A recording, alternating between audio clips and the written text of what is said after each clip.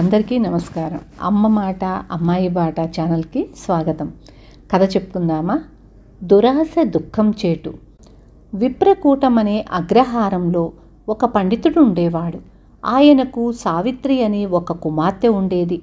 ఆ పండితుడి వద్ద శరభుడు కరభుడు అనే ఇద్దరు శిష్యులుండేవారు. వారు చదువులో అంత చురుకైన వాళ్ళు కారు. అయినా వారి ఆలోచనలు చాలా పెద్దవిగా ఉంటుండేవి. ఇలా ఉండగా ఒకనాడు ఆ గ్రామానికి కామగ్రీవుడనే ఒక బ్రాహ్మణుడు వచ్చాడు. ఆయన వయస్సు అరవై ఏళ్ళు ఆయన పండితుడి ఇంటి మీదుగా వెళుతూ వాకిట పండితుడి కుమార్తెను చూసి ఆగాడు. ఆ పిల్ల వెంటనే లోపలికి వెళ్ళి తన తండ్రితో నాన్న ఎవరో వచ్చారు అని చెప్పింది. పండితుడు బయటకు వచ్చి ముసలివాణ్ణి చూశాడు. ఆయన పొరుగురివాడని తెలుసుకొని అయ్యా ఈ పూటకు మా ఇంట్లో ఉండండి అని ఆహ్వానించాడు. కామగ్రీవుడు కోరినది కూడా అదే.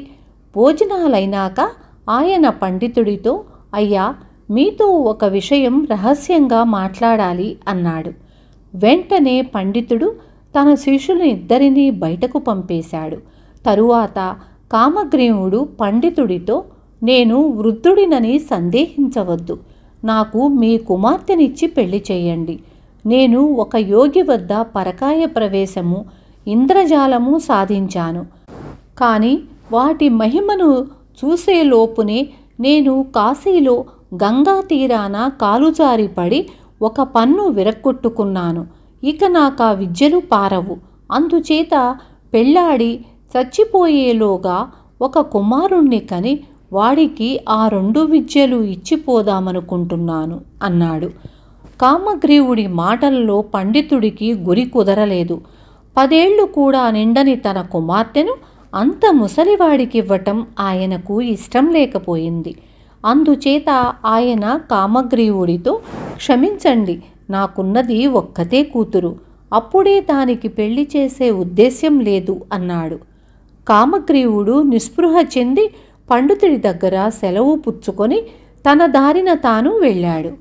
అయితే శరభుడు కరభుడు కూడా చాటున ఉండి ముసలివాడికి తమ గురువుగారికి జరిగిన సంభాషణ అంతా విన్నారు. తరువాత వాళ్ళిద్దరూ కూడబలుక్కొని మనకు చదువు ఎలాగూ అంటటం లేదు. ఆ ముసలివాణ్ణి అంటిపెట్టుకొని శుశ్రూషలు చేశామంటే చచ్చిపోయేటప్పుడు తన విద్యలు మన చేతిలో పెట్టిపోతాడు అని నిశ్చయించుకున్నారు. అందుచేత వాళ్ళిద్దరూ గురువుతో చెప్పకుండా బయలుదేరి దారి వెంట కనిపించిన వారిని అడుగుతూ కామగ్రీవుడు ఎటుగా వెళ్ళినది తెలుసుకొని ఆ సాయంకాలమే ఆయన్ని పట్టుకున్నారు. ఆయన వారిని గుర్తించి మీరెందుకు ఇలా వచ్చారు? అని అడిగాడు. స్వామి మీరు మా గురువుగారి కుమార్తెను చేసుకుంటామంటే మా గురువుగారు వల్ల కాదన్నారట. మీరు వెళ్ళాక గురువుగారికి భార్యకు పెద్ద దెబ్బలాట అయ్యింది. ఆవిడ పెళ్ళి చేస్తే బాగుండేదన్నది. మేము కూడా ఆవిడ్ని బలపరిచాము. గురువుగారు మా మీద మండిపడి మమ్మల్ని వెళ్ళగొట్టారు.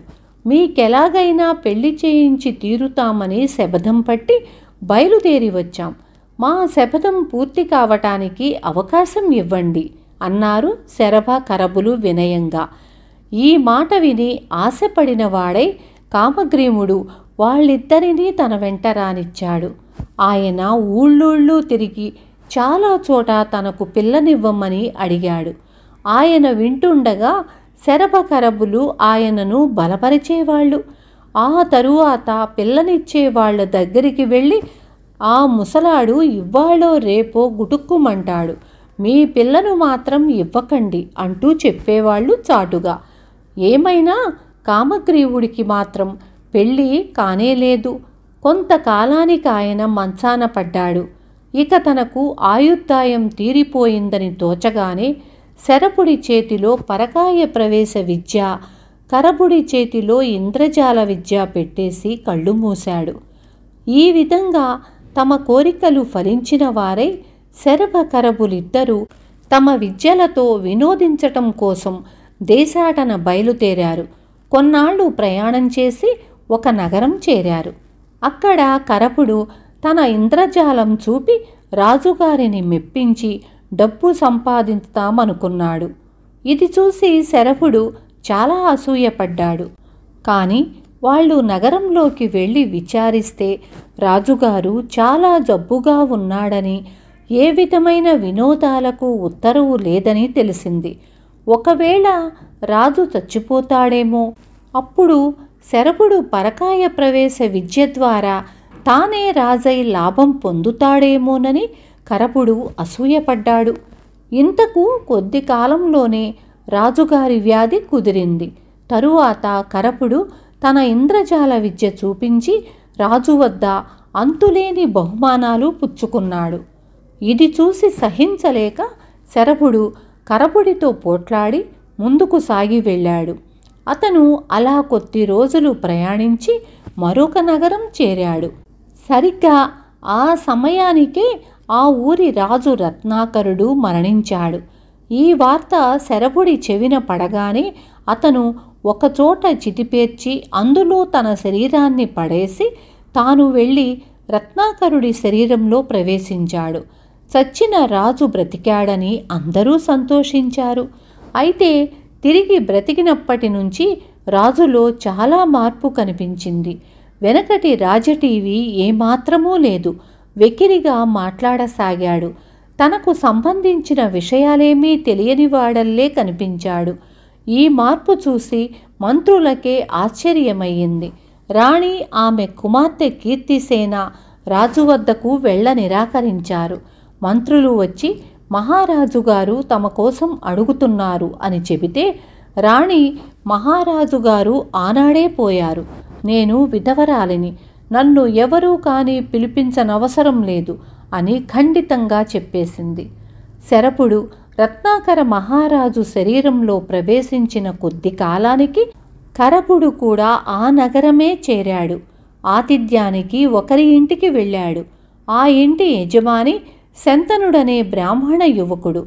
అతను రాజు దగ్గర పౌరోహిత్యం చేస్తున్నాడు. మాటల సందర్భంలో శంతనుడు కరపుడితో తన రాజు చర్యలన్నీ చెప్పి ఇప్పుడా ముసలాడికి మళ్ళీ పెళ్ళి కావాలట. చక్కని పిల్ల ఎక్కడన్నా ఉంటే పెళ్ళి చెయ్యమని నన్ను చంపుకు తింటున్నాడు అన్నాడు. సంగతి సందర్భాలన్నీ విన్న మీదట శరభుడు రాజు శరీరంలో ప్రవేశించాడా అని కరపుడికి అనుమానం కలిగింది. అన్న నేను చెప్పినట్లు చేస్తే మీ రాజుకు పట్టిన గ్రహాన్ని నేను వదలగొడతాను. నేను కొద్ది రోజులు రహస్యంగా మీ ఇంటనే ఉండి ఇంద్రజాలం చేస్తాను. నువ్వు ఈ సాయంకాలమే మీ రాజును ఉద్యానవనానికి బయలుదేరతెయ్యి. అక్కడ ఒక అప్సరస లాంటి స్త్రీ ఉన్నదని చెప్పు. ఆయనను ఊరికి ఉత్తరంగా ఉన్న శ్మశానానికి తీసుకుపో. మిగిలిందంతా నేను చూస్తాను అని కరపుడు శంతనుడితో అన్నాడు.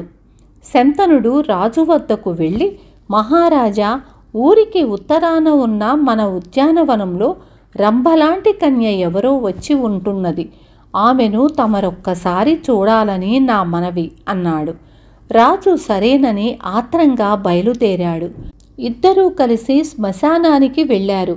అక్కడ కరపుడు తన ఇంద్రజాల విద్య చేత సృష్టించిన అద్భుతమైన ఉద్యానవనం వారికి కనిపించింది. అందులో కొంత దూరం పోయేసరికి ఒక పొదరింటిలో ఒక అపూర్వ సౌందర్యవతి వేణ వాయిస్తూ రాజు కంటపడింది వెంటనే రాజు ఆమె వైపు పరిగెత్తపోయి పడ్డాడు. ఆయన లేచి చూసేసరికి ఉద్యానవనం కానీ స్త్రీ కానీ అక్కడ లేదు. ఇదేమిటి? మాయలాగుంది అన్నాడు రాజు ఆశ్చర్యపోయి. మహారాజా మీరా స్త్రీ చక్కదనం చూసి మూర్ఛపోయారు. నేను మిమ్మల్ని ఇంటికి చేర్చుతూ ఉండగా దారిలో తమకు స్పృహ వచ్చింది. ఇవాళ పొద్దుపోయింది. రేపు మళ్ళీ వచ్చి సావకాశంగా ఆ స్త్రీతో మాట్లాడుతురు కాని అంటూ శంతనుడు రాజును ఇల్లు చేర్చాడు.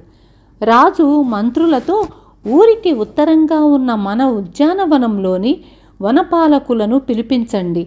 అక్కడ ఉంటున్న దేవతాస్త్రీకి ఏ లోటు రాకుండా చూడమని స్వయంగా హెచ్చరించాలి అన్నాడు. మంత్రులు నిర్ఘాంతపోయి మహాప్రభు మన ఊరికి ఉత్తరంగా ఉద్యానవనం లేదే? వనపాలకులను ఎలా రప్పించమన్నారు? అని అడిగాడు.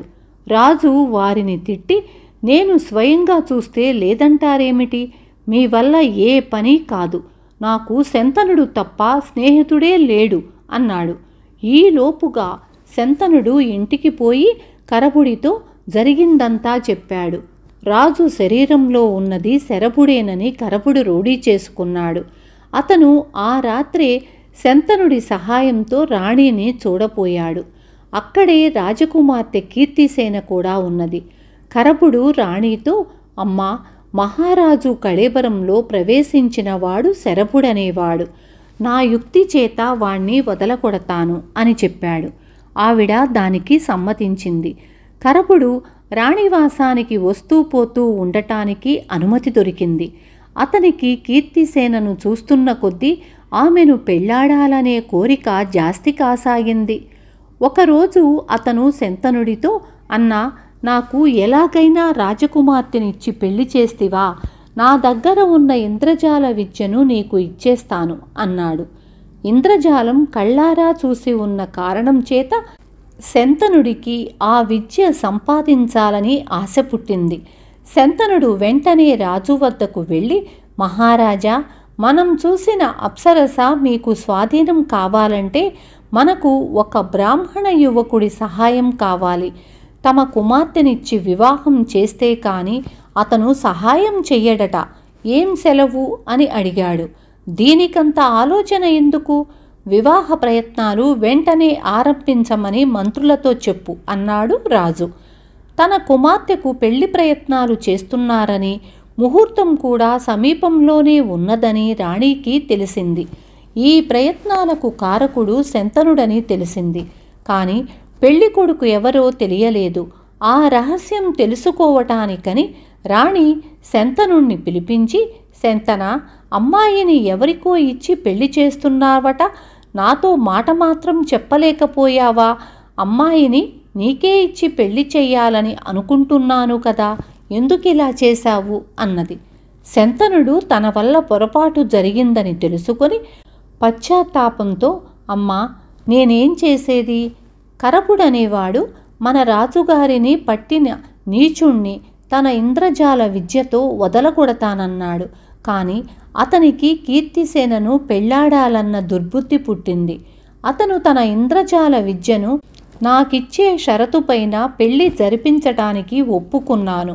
ఆ విద్య నా చేతికి వస్తే నేనైనా రాజుగారిని పట్టినవాణ్ణి వదలగొట్టవచ్చు కదా అనుకున్నాను అన్నాడు. పిచ్చివాడ! రాజుగారి సంగతి చూసినాకనే ముహూర్తం పెడతాననలేకపోయావా అన్నది రాణి. కీర్తిసేన జరిగిందంతా తల్లి వల్ల విన్నది. ఆమె తన చెలికత్తెకు చెప్పవలసిన మాటలన్నీ చెప్పి కరపుడి దగ్గరకు పంపింది. అతి నిరజాణ అయిన ఆ చెలికత్తె కరపుడి దగ్గరకు వెళ్ళి నువ్వు పెళ్ళాడబోతానన్నావని విని రాజకుమార్తె ఎంతో సంతోషించింది. ఆమె ఒప్పుకోదని నువ్వు దాచిపెట్టేలాగుంది. కానీ ఆమె నిన్ను చూసినది మొదలు ఎప్పుడు పెళ్ళాడదామా అని ఉంది. కానీ ఒక్క పొరపాటు చేశావు. నీ ఇంద్రజాల విద్య ఆ శంతనుడికి ఎందుకిస్తానన్నావు? అతను చెయ్యకపోతే నీ పెళ్ళి ఆగుతుందా? అన్నది. కరపుడు పశ్చాత్తాపడి అయ్యో మాట ఇస్తేనే అన్నాడు. ఇప్పుడేమీ మిగిలిపోయింది లేదు. ఇవాళో రేపో రాజుగారిని పట్టినవాణ్ణి వదలగొట్టి వెంటనే ఆ ఇంద్రజాల విద్యను నీ కాబోయే భార్య దగ్గరే దాచిపెట్టు. శంతనుడు నిన్నేమీ చెయ్యలేడు అన్నది. మరి కాసేపటికి శంతనుడు వచ్చి కరపుడితో ఇంకా జాగు చేస్తే మన ఇద్దరి మర్యాద దక్కదు. నువ్వు వెంటనే రాజును పట్టిన శరభుణ్ణి వదలగొట్టు. నీకు పెళ్ళి అయ్యేటట్లు నేను చూస్తాను అన్నాడు. కరపుడు ఆ రోజు మళ్ళీ ఇంద్రజాలం పన్నాడు. ఆ రోజే ఒక గొల్ల కుర్రవాడు పాము కరిచి చావగా మాయ చేసి కరపుడు ఆ శవాన్ని ఒకచోట దాచి ఉంచాడు. ఆ సాయంకాలం మళ్ళీ అతను ఉద్యానవనం కల్పించి అందులో మాయ స్త్రీని ఉంచి ఆమె పక్కనే గొల్ల యువకుడి శరీరాన్ని ఉంచాడు. ఆ సాయంకాలం శంతనుడు రాజును మాయ ఉద్యానవనానికి తీసుకువెళ్ళాడు. వారు వెళ్ళేసరికి ఆ స్త్రీ గొల్లవాడి శవం పక్కన కూర్చొని ఏడుస్తున్నది. ఏమిటది? వీడెవడు? ఎందుకు ఏడుస్తున్నావు? అని రాజు ఆమెను అడిగాడు. ఏం చెప్పేది? వీడు నా నౌకరు. నాకు మా తండ్రి ఇచ్చిన నిధిని వీడెక్కడో దాచి కాపాడుతున్నాడు. అటువంటి వాడు అకస్మాత్తుగా పాము కరిచి చచ్చాడు. ఆ రహస్యం తెలుసుకోవాలి. వాడెలాగైనా రెండు నిమిషాలు బ్రతికితే చాలు అన్నది. దీనికి నువ్వింత విచారించనవసరం లేదు. వీణ్ణి నేను ఇప్పుడే బ్రతికిస్తాను అంటూ రాజు శరీరంలో ఉన్న శరభుడు ఆ శరీరాన్ని వదిలేసి గొల్లవాడి శరీరంలో ప్రవేశించాడు. ఆ సమయంలో అక్కడే అదృశ్యంగా ఉన్న కరపుడు రాజు శరీరాన్ని కత్తితో రెండు తుండాలుగా నరికేశాడు. మరుక్షణం ఉద్యానవనము ఏడిచే స్త్రీ మాయమై శంతనుడు కరబుడు గొల్లవాడి రూపంలో శరపుడు మిగిలారు. శంతనుడు కరపుడు చేరి గొల్లవాణ్ణి పెడరెక్కలు విరిచికట్టేశారు. ఇక జాగు చేయక నీ ఇంద్రజాల విద్య నా పరం చెయ్యి అన్నాడు శంతనుడు. రాజు కూతురి మెడలో తాళి కట్టిన మరుక్షణం అలాగే చేస్తాను అన్నాడు కరబుడు ఇద్దరు గొల్లవాణ్ణి తీసుకుపోయి రాణికి చూపించి రాజు శరీరంలో ప్రవేశించిన దుర్మార్గుడు ఇప్పుడు ఈ గొల్లవాడి శరీరంలో ప్రవేశించాడు. వీడికి ఏ శిక్ష విధిస్తారో విధించండి అన్నారు. మంత్రులు గొల్లవాణ్ణి ఖైదు చేశారు. తరువాత కరపుడు కీర్తిసేన వద్దకు వెళ్ళి ఇదిగో నా ఇంద్రజాల విద్య ఇక మనకు పెళ్ళి కావటమే తరువాయి అన్నాడు. ఆమె వాని వద్ద నుంచి ఇంద్రజాల విద్య తీసుకొని నౌకర్లతో ఈ ఆశాపాతకుణ్ణి ఖైదులో వేసిరండి అన్నది. కరవుణ్ణి ఖైదు చేశారనగానే శంతనుడు ఇక తనకు రాజకుమార్తెకు పెళ్ళి తప్పదని భావించి రాజసౌధానికి వచ్చాడు. అతన్ని రాజభటులు పట్టుకొని ఖైదీలో వేశారు. ఈ విధంగా దురాశకు పోయిన శరభుడు కరభుడు శంతనుడు కారాగార గృహవాసం అనుభవించారు. విన్నారు కదా? దురాశ దుఃఖానికి చేటు. రేపు మళ్ళీ ఇంకొక మంచి కథతో మీ ముందుకు వస్తాను దానికి చేటు కదా. అందుకని